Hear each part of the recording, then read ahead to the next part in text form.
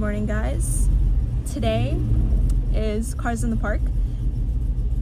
Basically, last week essentially I went out for a little hike at a park near my house and I was like, why not host a car meet? So one week later, here we are. I don't know how the turnout's gonna be, but it's open to everybody, all years, makes and models. So we'll see how it goes. I know I have a couple friends who are already coming in their classics, but let's head on over there and see how it all pans out.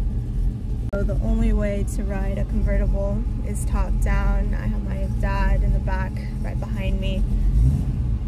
If my camera's a little bit shaky, it's because my car is cold, so I'm just warming everything up right now. But yeah, here we are.